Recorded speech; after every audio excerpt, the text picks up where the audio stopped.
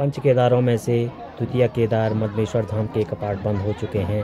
आज मदमेश्वर भगवान की डोली रांसी गाँव में पहुँचने वाली है तो इसीलिए गाँव के सारे लोग डोली का स्वागत करने के लिए इकट्ठा हो रखे हैं।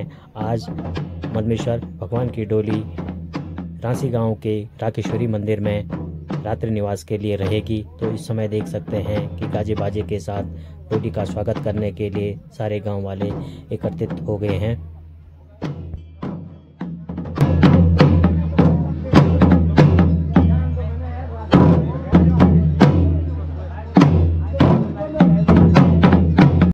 कर लेते हैं एक नए दिन की शुरुआत। नमस्कार, मैं हूँ पम्मी अग्रवाल और स्वागत है आपका मेरे एक नए ब्लॉग में।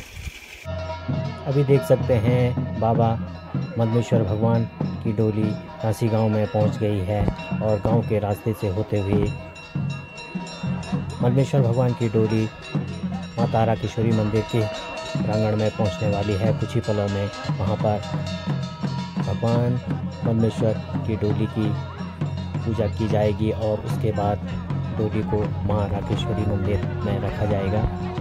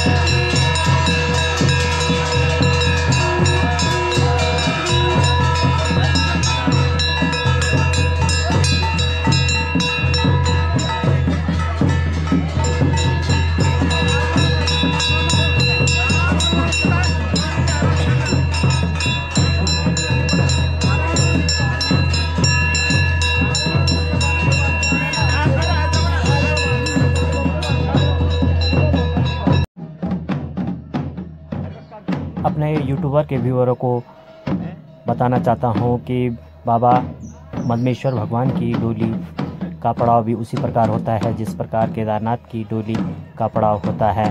तो आज भगवान मदमेश्वर की डोली का जो पड़ाव है, वो रांसी गाँव में, राकेश्वरी मंदिर में होता है और कल मनसोना गाँव में होगा और परसों भगवान की डोली अपने गद्दी स्थल ओमकारेश्वर मंदिर, उखीमठ में होगा, जहाँ पर एक भव्य मेला लगाया जाता है, जिसे मदमेश्वर मेले के नाम से जाना जाता है।